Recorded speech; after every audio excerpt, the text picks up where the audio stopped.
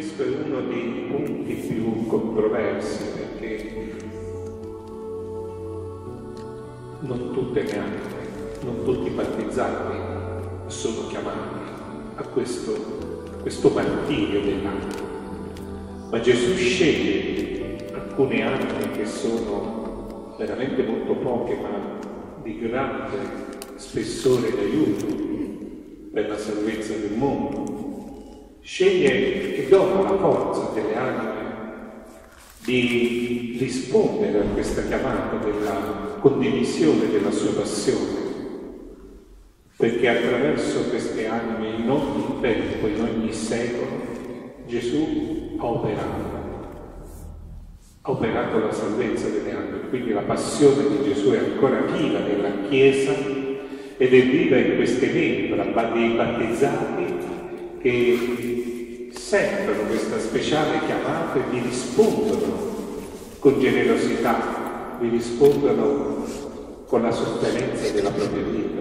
Dopo il 9 giugno del 1985, Teresina, dopo aver scritto questa preghiera di offerta, dove dice Signore, come, come dire Gesù, ecco, mi lascio condannare a morte, perché Voglio somigliare a te nel mistero della passione. Cominciò per lei il calvario della sofferenza della tubercolosi, che allora non c'erano i mezzi di oggi per guarire, e visse dal 1895 fino al 30 settembre del 1897, circa due anni, nell'infermeria, vivendo nel corpo questi dolori della passione queste stimate d'amore che poi secondo come Gesù stabilisce in alcune diventano visibili, altre sono invisibili.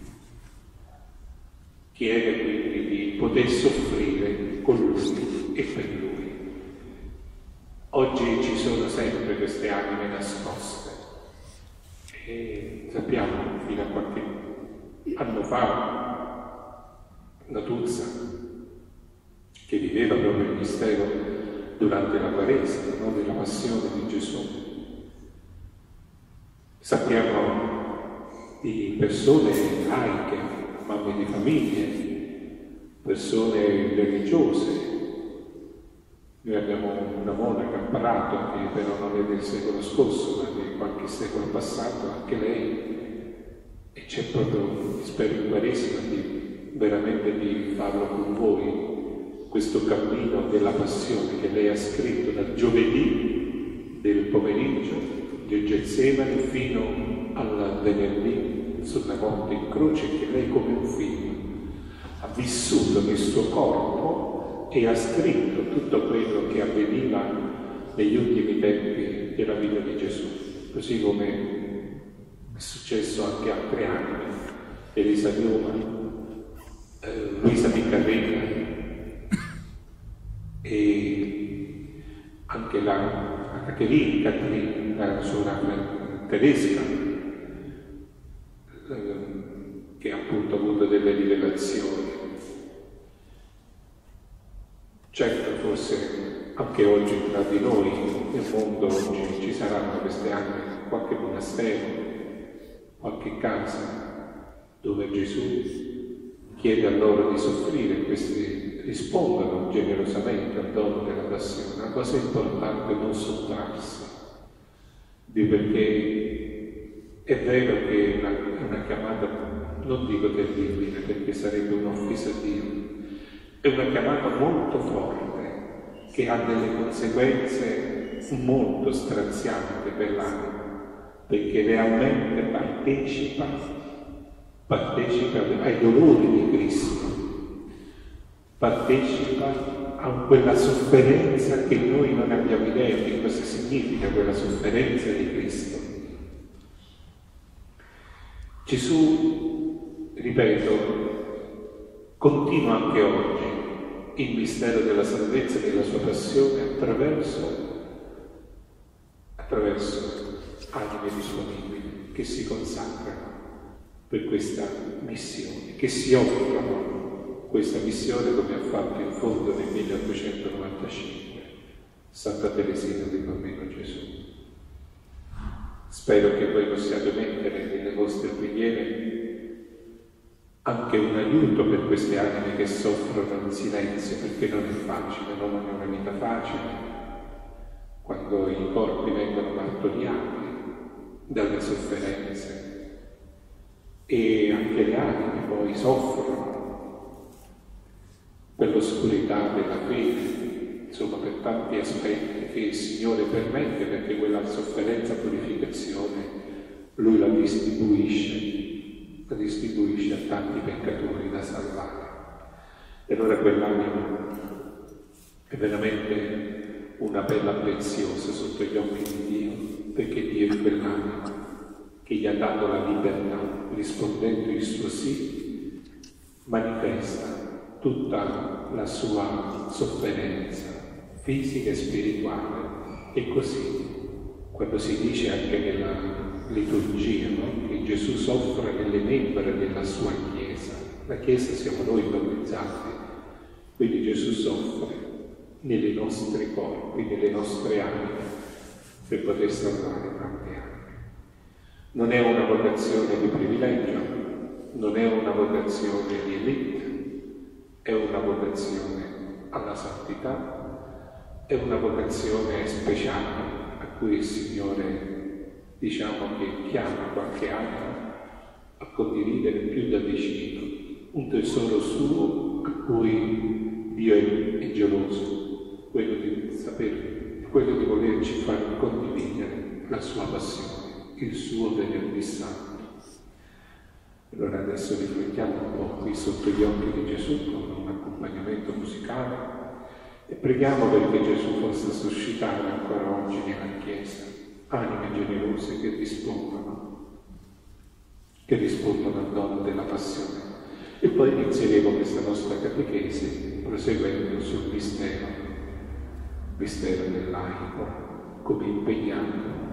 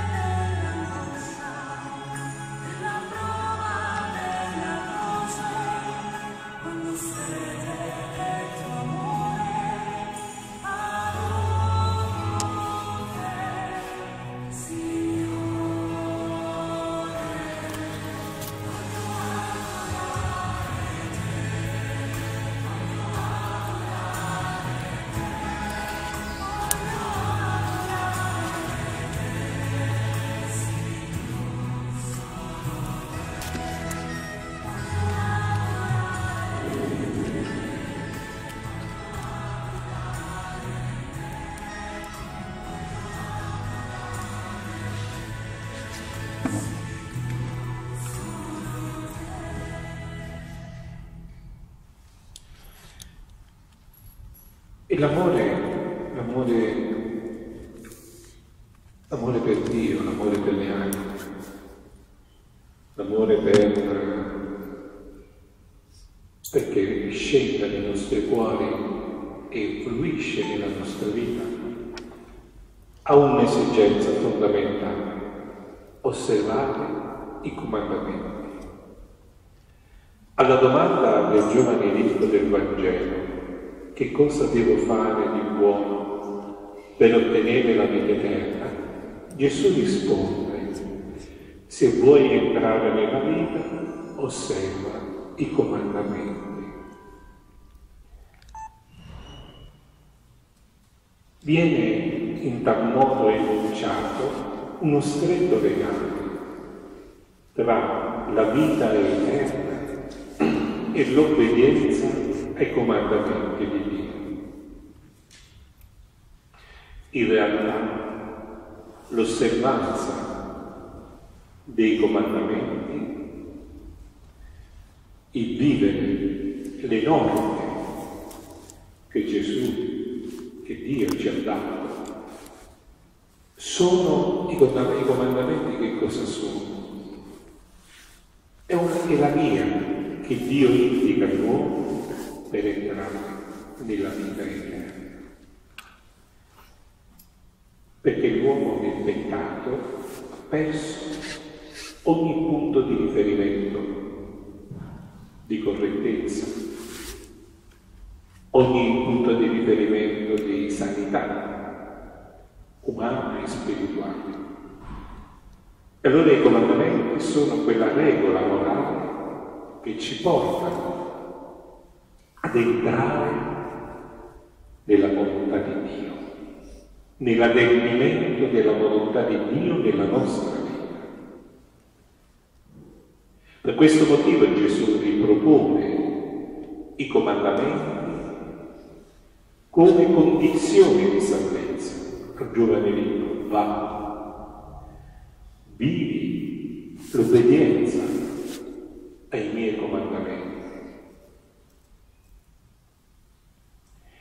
In realtà nei dieci comandamenti si rispecchiano i precetti fondamentali della legge naturale.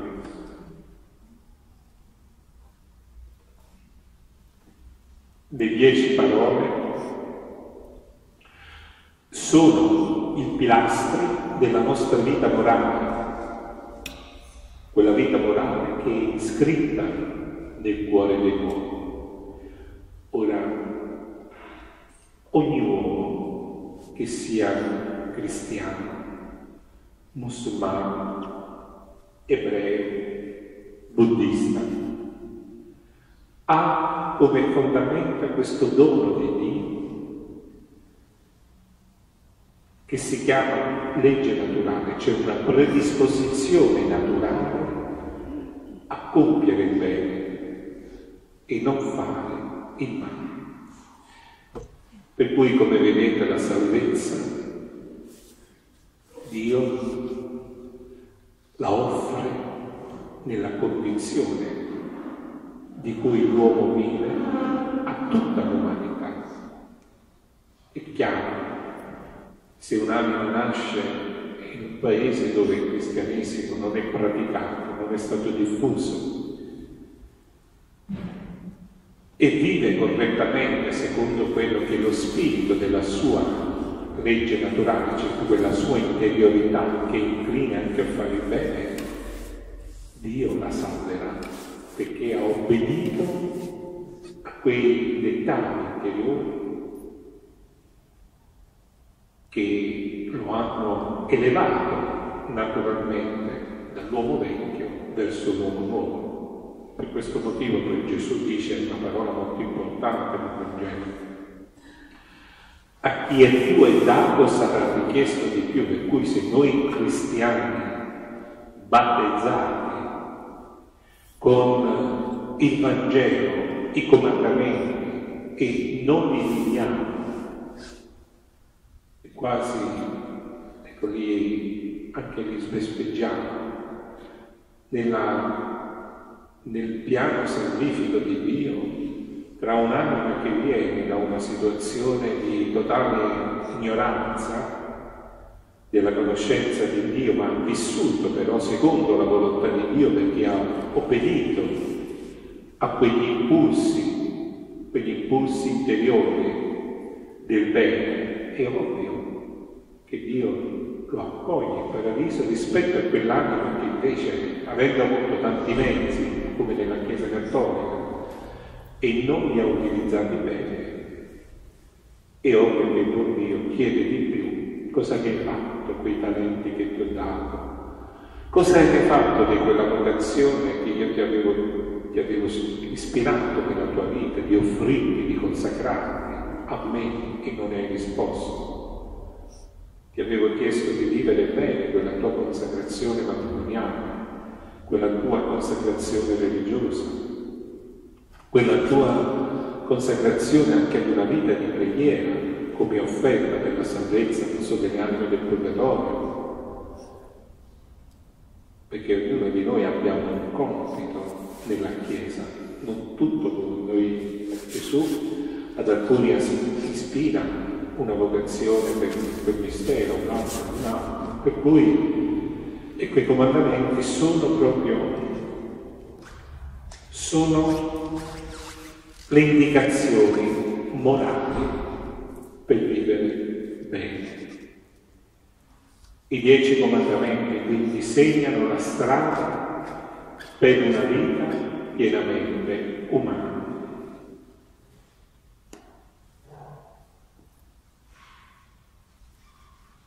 Dalle, da queste dieci semplici parole dipende il futuro dell'uomo, il futuro anche delle società, dell'Europa, del mondo, perché se uno Stato, una comunità, una comunità civile, uno Stato, promulga delle leggi che non sono in conformità allo spirito degli insegnamenti di Dio, di Gesù. È ovvio che se in una società che purtroppo come è avvenuto, no? è stato promulgato il, la legge dell'aborto, dell'eutanasia, del divorzio, e più andiamo avanti più altre leggi che sono contro la natura, no?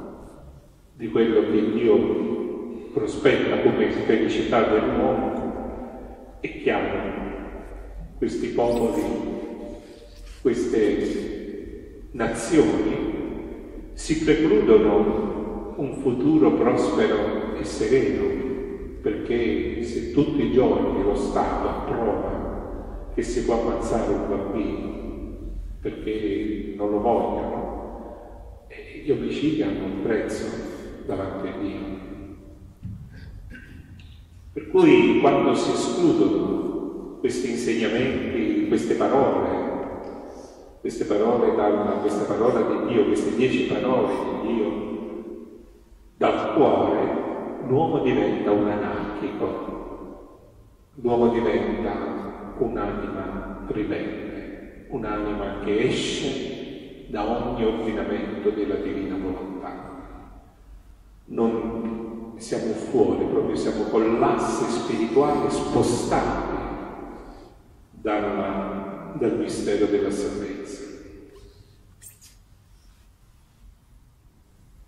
E allora bisogna vivere, io so che la Chiesa ha dei ministri che si occupano anche di evangelizzare proprio con i cosiddetti dieci comandamenti, per cui non è che voglio fare i dieci comandamenti, ma In realtà quando queste, queste parole vengono, come vi dicevo, messe da parte nel nostro cuore, nelle nostre famiglie, nella nostra società, l'uomo e la famiglia non ha più futuro, perché l'egoismo, l'odio, la menzogna costituiscono la base per una vita di distruzione. Sono i comandamenti che ci fanno guida, che fanno guida all'uomo nel cammino verso l'umanità.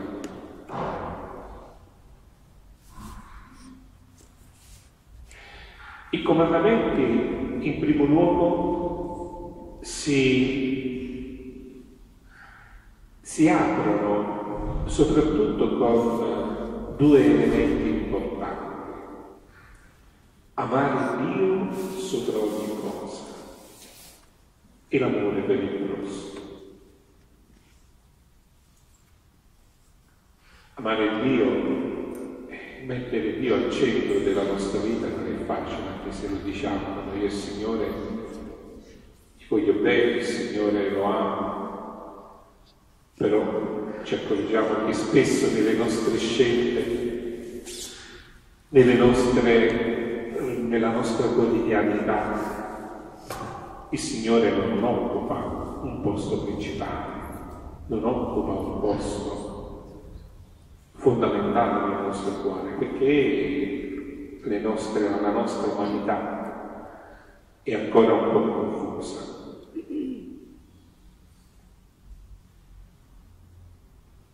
Certamente amare Dio significa poi abbracciare nell'amore di Dio, nell'amare Dio, si vivono anche tutti gli altri comandamenti, perché quando si ha il cuore in Dio, si ama Dio, la tipologia dei rapporti cambia, la identità antropologica della persona cambia, quando c'è l'amore di Dio l'uomo cambia, non c'è nulla da fare si cambia nel pensare, nell'agire, nel parlare, nel, nel porsi anche nelle, nelle, relazioni con gli altri, quando Dio ti prende sul serio nel cuore, quando Dio diventa il tuo pane quotidiano, quando Dio diventa la tua, eh, il tuo fine ultimo ogni giorno non deve diventare un'ossessione, ma deve diventare una, uno stile di vita. Il Signore ti fa cambiare. È quello che noi poi diciamo la conversione, no? È proprio questo, questo nuovo modo di vivere la vita incentrata in Dio. È chiaro che viene fatta con un desiderio di ricerca, con uno sforzo ascetico dove io devo cercare di guardarmi dentro, devo cercare di con umiltà accogliere anche le mie debolezze, le mie paure, le mie insicurezze, no? Tutto. I miei difetti, i miei pregi e devo orientare in questo cammino di crescita. Ma se non ci si mette in discussione davanti a Dio e abbiamo sempre un po' la teologia della giustificazione nei confronti di Dio, rischiamo veramente poi di rimanere vittima di un percorso che non ci fa crescere, non ci fa conoscere Dio, rimaniamo in una spiritualità che potrei chiamare un surrogato di spiritualità, cioè quella parte che c'è ma non ha nessuna incisione nella vita di tutti noi.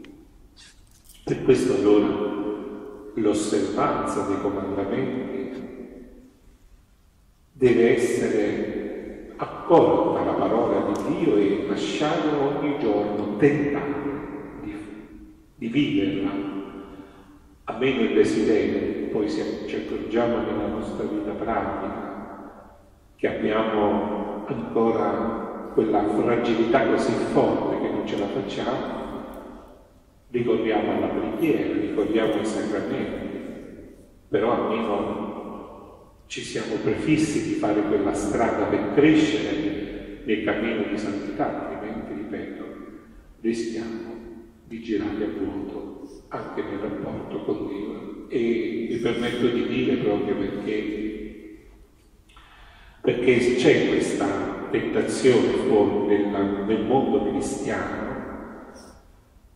che oggi nonostante tutto siamo abbastanza un popolo numeroso di cristiani, ma come cristiani? Quale tipo di cristiani? Quale immagine di cristiano vediamo?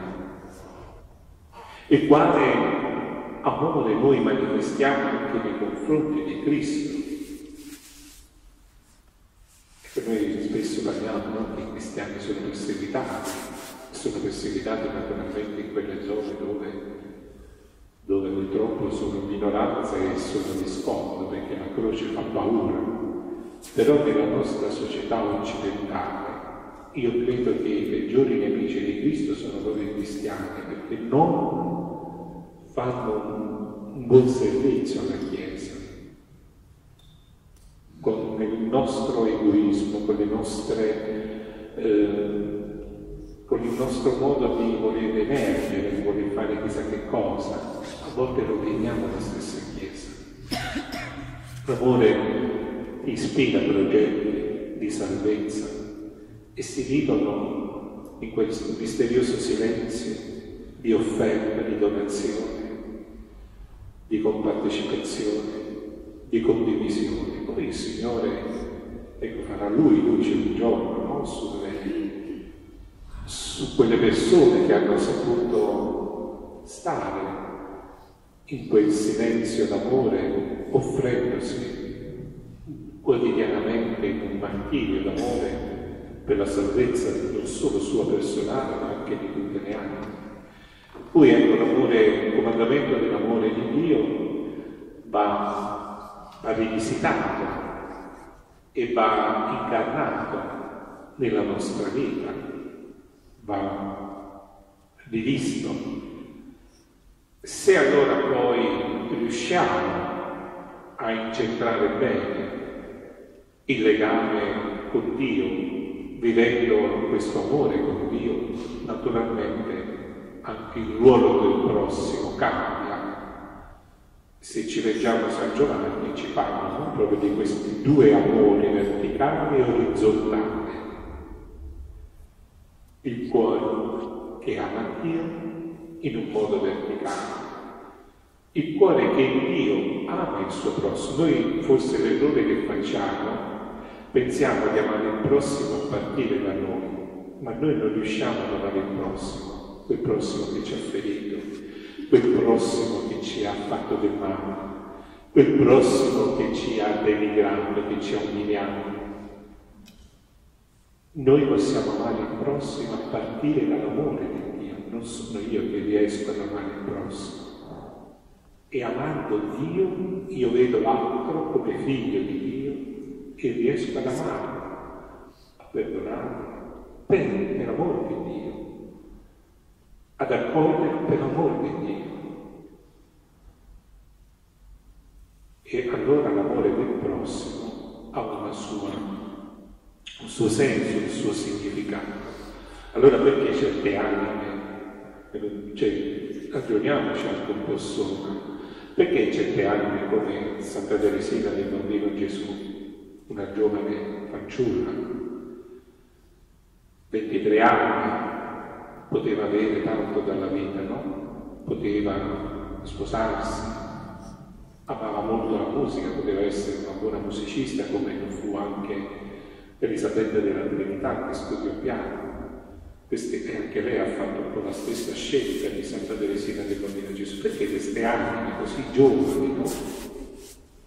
addirittura vengono ispirate a emettere un voto di offrirsi come vittima a Gesù per espiare i peccati delle anime del purgatorio, i peccati dei, delle, dei peccatori.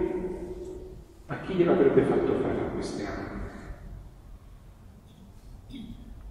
Tanto loro, ah, Dio lo amava, l'hanno amato, no? almeno se leggiamo la storia di Nani, vediamo come da piccola Teresina era attratta no? dalle cose del cielo.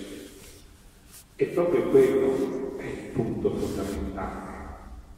Si sceglie perché nel mistero dell'anima, che non si può spiegare a parole umane, quando Dio ti tocca il cuore, la mente, l'anima, ti fa capire che ogni uomo che si perde è un dolore dell'amore, perché Dio ci ama tutti, vuole salvare tutti. E allora quando si entra nella logica di Dio, per quanto ecco, una persona, ripeto, ti possa fare del male, una persona che ti, diciamoci tutto quello che succede, no? umanamente ti viene voglia di, di, chiudere i rapporti, di, di fare del male, no? di corrispondere col male, però se alla fine ti metti in Dio in preghiera, tu pensi no? che anche quella persona, nonostante che possa essere abitata dal male, che ha fatto delle cattiverie, è una persona che ha immagine e somiglianza di Dio. E Dio nella sua vita gli dà la possibilità di potersi salvare sperando che si converta. Poi, se persevera fino alla fine della vita, certamente arrega un dolore nel cuore di Dio perché un'anima si perde, però Dio fino all'ultimo respiro cerca di salvare tutti i figli, anche quello più, più feroce possiamo dire, no? E allora per questo lui a noi ci chiede di amare il prossimo, di accogliere il prossimo nell'amore di Dio, naturalmente però ovvio che laddove poi nella vita umana, no? voi adesso siamo tante domande, vi state ponendo nel cuore perché ci saranno situazioni anche molto dolorose all'interno delle famiglie si sono rotti i rapporti, magari per motivi di interesse, per motivi di parole dette, non dette, per situazioni comprese, non comprese, anni faccende no, della vita umana.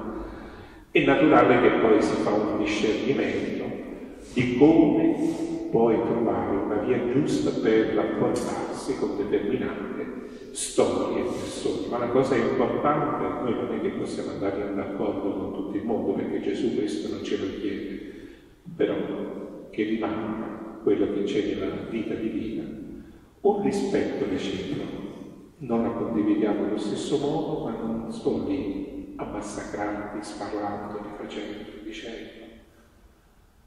Non condivide questo tuo modo di fare, ma, ma quel rispetto, quella condizione di civiltà del dialogo, dell'amore che consente di purificare anche i rapporti umani da sì qualsiasi spessore di ipocrisia, di falsità, di menzogna, il demonio ci guazza molto nei rapporti dell'amore del prossimo, perché lui, facendo leva no, sulle nostre paure, sulle nostre debolezze, sulle nostre insicurezze, ci, ci insinua tanti pensieri e genera un grande caos, confusione molte volte lui quando vede che le, soprattutto anche nelle comunità sia religiose che parrocchiale o ecclesiale che si litiga è una questa nozze per lui, è una vittoria maggiore. Si litiga nel Parlamento, per cui dice, vabbè,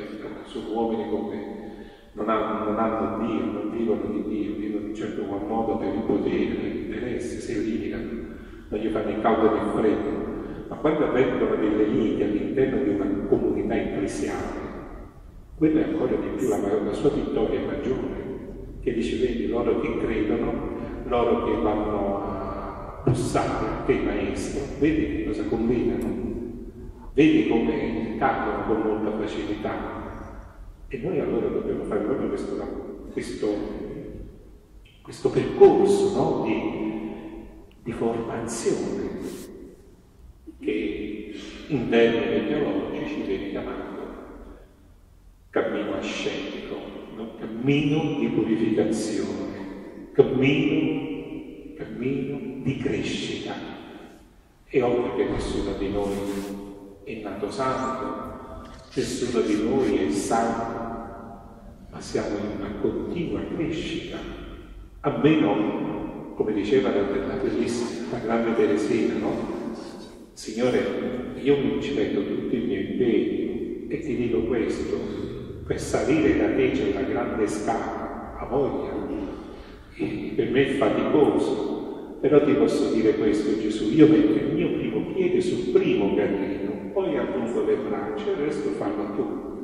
Da lì nasce la spiritualità della fiducia e dell'abbandono, il Padre che apre le braccia e io mi getto tra le tue braccia come una piccola che non sono capace di amarti come tu vuoi che io ti ami. Ecco allora quello che magari ci fosse no? in ognuno di noi, e spero che ci sia, perché grazie a Dio ci sono anime che hanno scelto Gesù radicalmente e fanno questo cammino. Almeno questo desiderio, desiderio di crescere, questo desiderio di maturare per un cammino verso la santità, per un cammino di trasfigurazione in Gesù. Attenzione, fare questo cammino poi non significa esporsi per dire, beh, ormai poi tutti mi venerano, tutti mi... assolutamente togliamoci anche da queste tentazioni che il demonio purtroppo insinua delle anime un po' anche più fragili, deboli. Noi dobbiamo farci santi perché vogliamo stare con Dio, per il resto non ci deve interessare di niente. Voglio stare con te Gesù in cielo, abitare con te, poi il resto non mi interessa niente. Di chi mi conosce, non mi conosce, chi mi apprezza, non mi apprezza. Allora dobbiamo vedere proprio, no? come diceva Giovanni Paolo II, questo amore per il prossimo. Il prossimo, dice Giovanni Paolo II, non è soltanto un essere umano con i suoi diritti e la sua fondamentale uguaglianza davanti a Dio, ma come vi dicevo prima, il mio prossimo è l'immagine viva di Dio Padre, che è stata riscattata da Gesù nel suo sangue esposta sotto l'azione permanente dello Spirito Santo. Noi in genere vogliamo contemplare la Trinità, ma la Trinità la possiamo contemplare anche nel fratello che è vicino a noi, come ci ha detto Giovanni Paolo II. In conseguenza egli deve essere amato, anche se nemico, con lo stesso amore con cui lo ama il Signore. Lo ama il Signore. Per lui, dice Giovanni Paolo II, bisogna essere disposti al sacrificio anche supremo. Mi viene in mente Massimiliano Conte, un sacrificio per un uomo, per salvare un uomo che non conosceva, solo perché sapeva che era un papà di famiglia che lo voleva dare la famiglia, ha detto do la mia vita a posto su Massimiliano Conte, che naturalmente quel martirio, quel sacrificio non nasce così, come un fungo, nasce dal suo per Maria. Ora sapete, no? Massimiliano Conte era innamorato dell'Immacolata e la Madonna, dico, Oggi penso che lo possiamo dire ad alta voce. Nei campi di Auschwitz ha operato alla grande attraverso queste anime nascoste che erano in quel luogo di sofferenza. Massimiliano Conte, Pellizzano, Bonente, teologo protestante, ma vi assicuro una grande anima anche lui. La Madonna dove c'è la sofferenza suscita vocazione per, per la donazione all'amore e nella passione per il figlio, perché lei la passione la, ce l'ha nel cuore. Quindi questo sacrificio supremo dove dice Giovanni, la prima lettera, dare la vita per i propri fratelli. Così la carità cristiana non è semplicemente manifestazione di una solidarietà umana, la carità cristiana non è un buonismo nostro. Noi, vedete, anche nel, nel rapporto degli aiuti e delle elemosine, purtroppo dobbiamo dirci, lo sbagliamo, perché con quei pochi centesimi, le cose, non facciamo servizio a nessuno. Una vera carità è soprattutto che io mi occupo per la salvezza della tua anima e partecipazione allo stesso amore divino. Allora quando vi capita no, che uno ti invita ad farti un'alleanza per andare contro quello, vedete, quando si sceglie di amare Dio in un modo corretto, giusto, equilibrato, purtroppo come è fatto la logica del mondo fuori, si rischia di stare soli. Vi allontanano tutti. Però è meglio scegliere la croce della salvezza che fare alleanze con tanta gente che ti induce a peccare, parlare male di questo, fare male, pianificare qualcosa contro quell'altro. Quindi la, la scelta, la vita cristiana è una scelta. Diciamo che siamo soli, però soli fino a un certo punto, perché con noi c'è Gesù, la Madonna. Per cui l'amore cristiano è un amore universale, cioè non circoscritto ai fedeli di sangue e di fede, ma aperto a tutti anche i peccatori. Giovanni Paolo II ci invita proprio a questo, amare, accogliere, in modo particolare i peccatori. Noi, vedete, siamo alla vigilia, alla vigilia anche della festa di domani, che è domenica, ma celebreremo anche il 160 anno della prima apparizione di Lourdes. E vi permetto anche qui di nominare Bernardetta, una piccola ragazza di Lourdes, anche lei quasi francese come Teresina. Anche lei si vede questa donna che le appare e gli chiede di dare la sua vita per la conversione dei peccatori. E voi sapete, no? Che, però lei giustamente ha chiesto alla Madonna, ha detto, Madre Santa, ma chi sono i peccatori? Perché qui davanti a me un continuo, vede attorno a me un continuo una continua ribellione nei confronti di Dio perché il momento in cui ha vissuto Bernardetta non era più oro di oggi. Al tempo di Bernardetta c'era l'illuminismo, quindi l'esaltazione della ragione. C'era quindi questa avversione contro Dio per, perché l'uomo con le sue ricerche, indagini scientifiche pensava di distruggere il soprannaturale. E la Madonna glielo spiega con queste parole.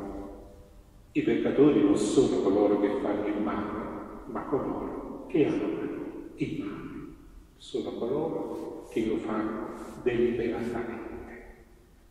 Non sono coloro che fanno il male. Noi forse ci potremmo rispecchiare in questa linea di peccatori che, che con tutto lo sforzo di voler camminare nella santità però facciamo esperienza del peccato, come in fondo anche la, la Sacra Scrittura lo dice, il giusto pecca sette volte al giorno, quindi non c'è nessun animo che ogni giorno che passa non pecca.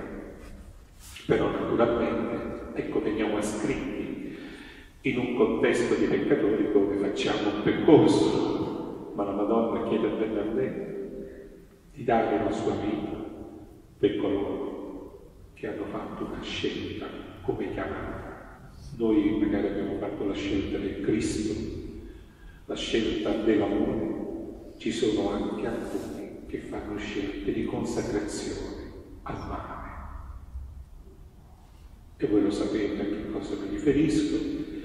E sono quelli che poi distribuiscono nel mondo progetti di morte, progetti di annientamento dell'umanità e della stessa Chiesa. E Bernardetta che aveva intuito quello che la madre le chiedeva, la madre celeste gli chiedeva, ha detto di sì, sapendo che le aspettava un calvario. Ha detto il suo sì, non per una gloria, non per crearsi la mediaticità, possiamo dire, no? attorno a sé, il mondo mediatico, poi ha scelto averlo, ha scelto la sua Betlemme, la sua Nazareth, silenzio, e dove ha cominciato a salire il Calvario della malattia, persecuzione della sorella che era all'interno del monastero, ma tutto vissuto nell'offerta, in una condivisione della passione di Gesù per la salvezza dei peccatori. Quindi terra non è grande, perché ha visto la Madonna Lourdes, perché ha fatto scorrere la sorgente, tutte cose che sappiamo poi hanno un significato spirituale, fisico, biologico, ha affidato un grande compito di aiutarci in questo tempo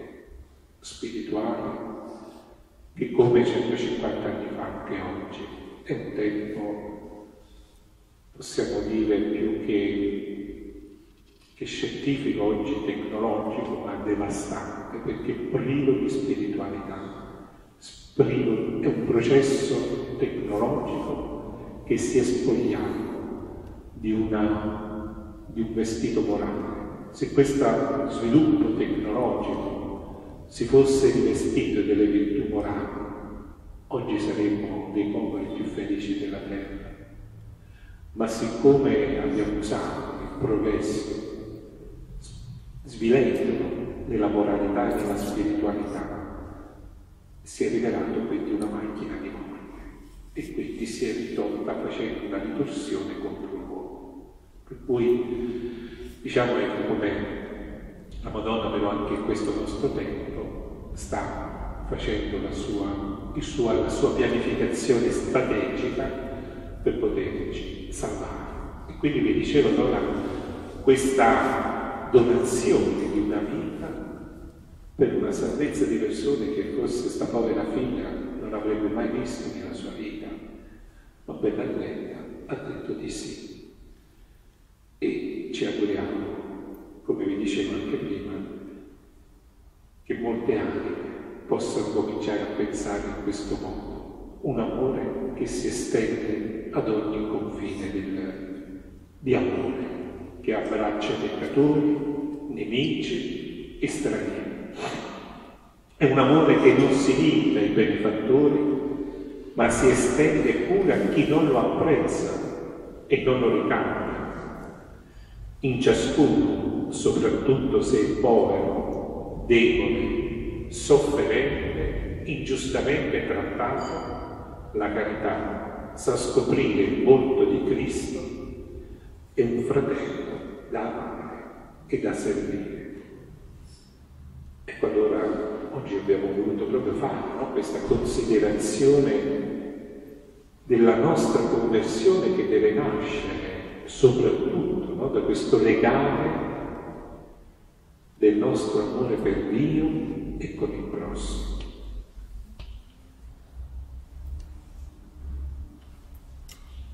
L'amore per il Signore, l'amore per il prossimo. Possiamo riflettere un momento insieme con un sottofondo musicale individuare un po' dentro di noi quelle dinamiche aggiustare po' davanti al Signore. Abbiamo tanto, noi abbiamo, siamo in un tempo in cui possiamo ancora ravvederci. Non facciamo i ragionamenti, diciamo adesso la mia età, oppure ho fatto la mia scelta. La vita dell'anima non corrisponde alla vita corporale. Il salvare l'anima fino all'ultimo giorno c'è la possibilità che Dio lo possa fare se ci convertiamo. Però se Dio me lo chiede oggi di cambiare, non posso dire adesso, Signore, so che ci sei, mi faccio ancora poi le cose che mi convengono e poi ci ritorniamo. Non ragioniamo con la mentalità umana con Dio, rischieremo poi di, di pendircene allora davanti a Gesù che qui esposto, cerchiamo proprio di, di riflettere un po' su questi due comandamenti, anche quello del prossimo, l'amore del prossimo, compassione, misericordia.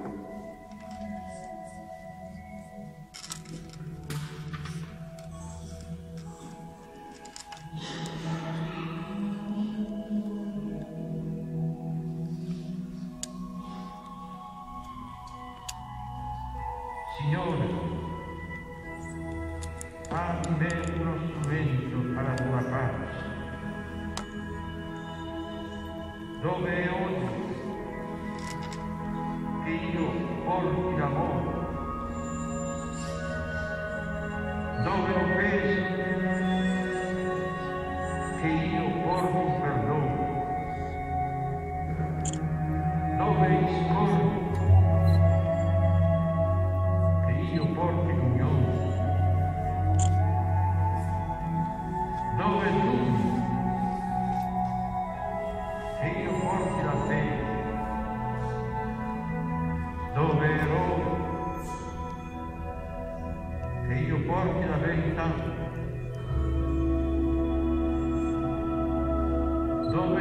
dove disperazione, che io porti la speranza,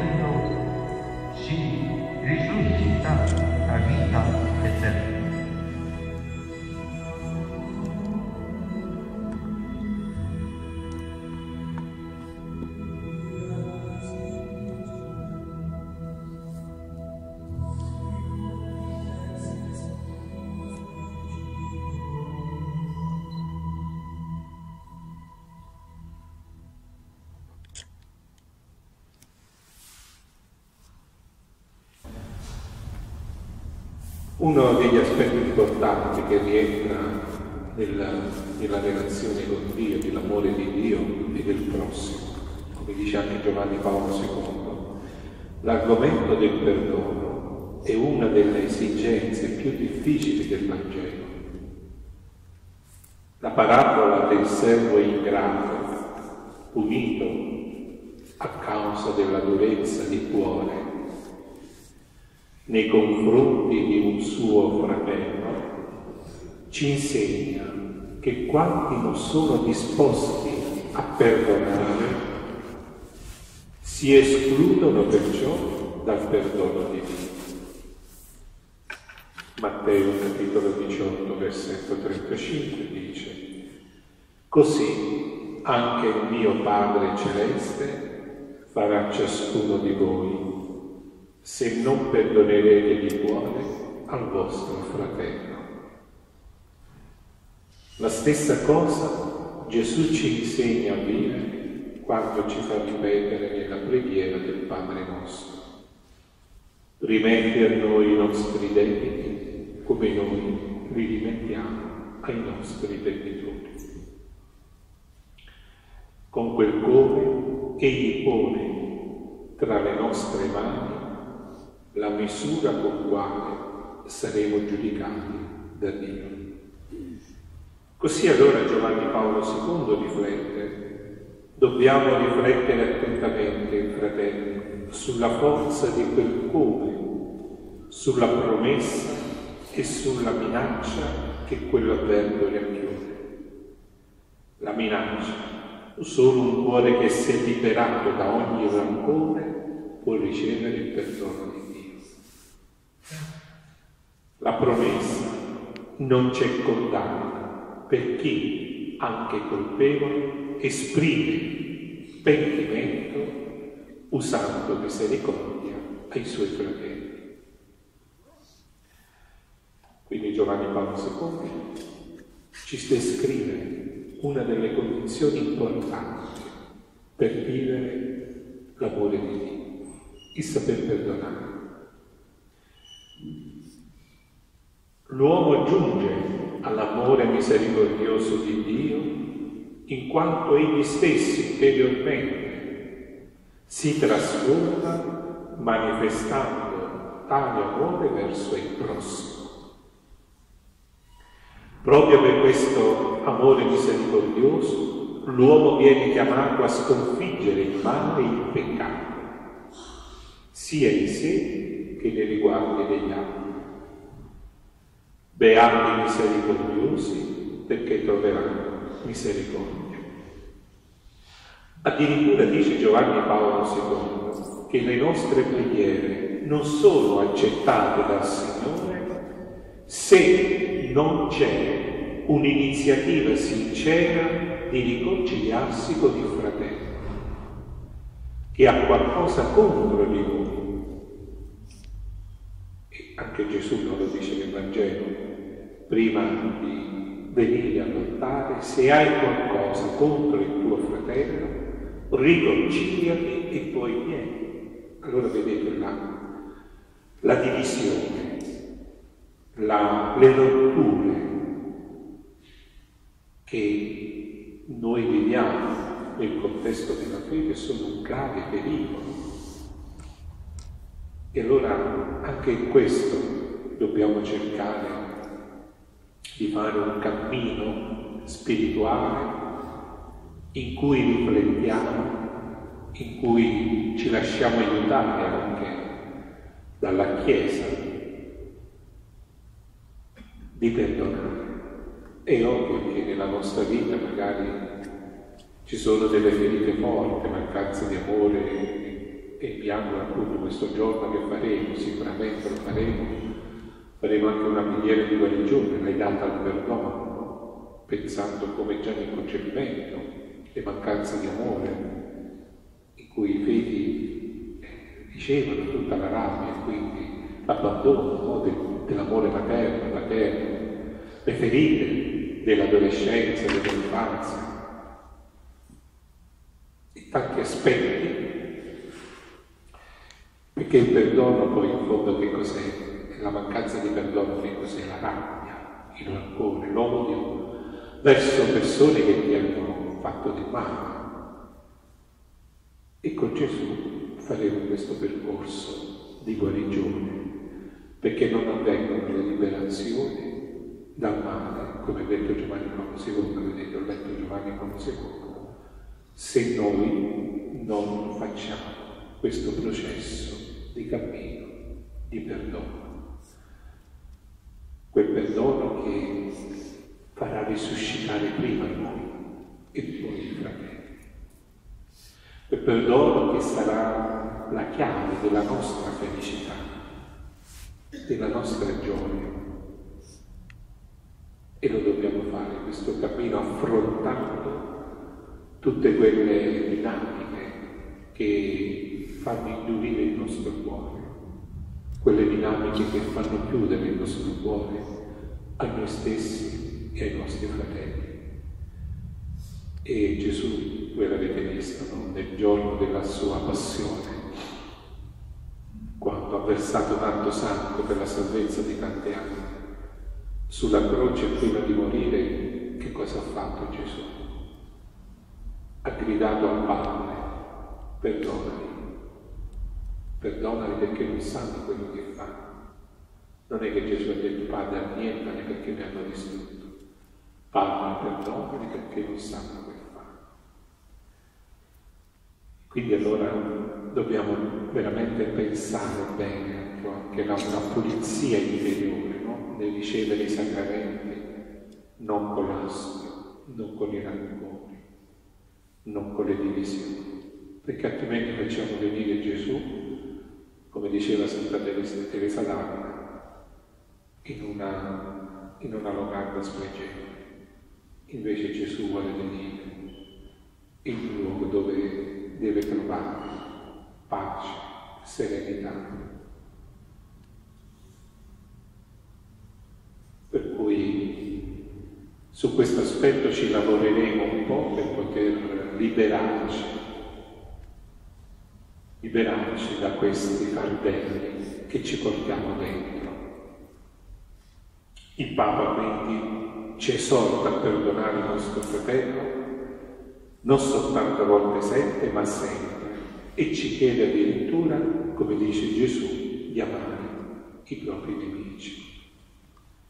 Proprio il perdono per Giovanni Paolo II, sono belle queste parole di Giovanni Paolo II, dice che il perdono è una forma più elevata dell'esercizio della carità. Quindi perdonare vale più di vivere il perdono vale più di fare un grossissimo opolo per qualche costruzione di Isacchi. Vedete la potenza del perdono che Giovanni Paolo II ha intuito. Il fatto che il Padre Celeste ci dona in Cristo il suo perdono ci spinge a vivere nella carità, considerando l'altra persona non come un nemico, ma come un fratello. E Gesù ha portato un principio proprio che ha rivoluzionato il cuore dell'uomo. Matteo 5,44 Amate i vostri nemici. Evidentemente non va inteso nel senso di un'approvazione. Amare il nemico non significa che io approvo il male che il nemico ha fatto. Attenzione, Giovanni Paolo II lo, lo spiega bene non è un'approvazione del male compiuto dal nemico. Gesù ci invita a vedere una, avere una veduta superiore che è uguale a quella del Padre, che va oltre, che va oltre naturalmente però, ecco vuole anche che opere il male si converta, che il perdono possa dare all'altro che ha fatto del male una conversione, perché se perdona e l'altro persevera, noi sappiamo anche che Gesù ci dice una cosa molto importante. Se non vi ascoltano, se non cambiano, scuotete sacra e andate altrove. Però la possibilità la dobbiamo dare.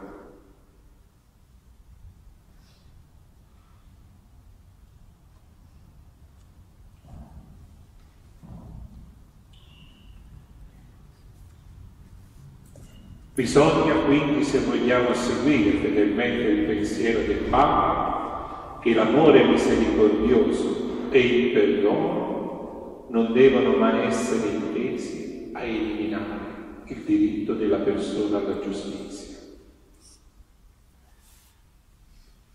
Bene, poi su questo tema, come vi dicevo, rifletteremo un po' più a lungo perché è un tema molto delicato della nostra vita di cristiani, saper perdonare. Il perdono che nasce dalla croce. Se non guardiamo la croce non saremo mai capaci di perdonare. E guardando la croce forse eviteremo anche di fare del male agli altri. Troppo, come vi dicevo prima, Bernardelli ci ha insegnato una bellissima cosa oggi. I peccatori non sono coloro che fanno il male, ma coloro che operano il male. I nostri giorni Adesso ci mettiamo sotto lo sguardo di Gesù, nel suo mistero di crocifissione, vivendo questa nostra adorazione.